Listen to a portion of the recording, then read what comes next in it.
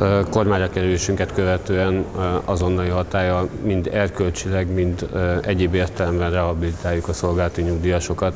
Gyalázat volt, amit ez a kormány művelt velük, megalázta őket, és hát az a, az a fajta jogosan elvárható megbecsülés, amit, amit azt gondolom, hogy ha valaki tisztességben leszolgálta az államot és az állampolgárokat, akkor jogosan várja el az állampolgároktól, hogy megbecsüljék őket.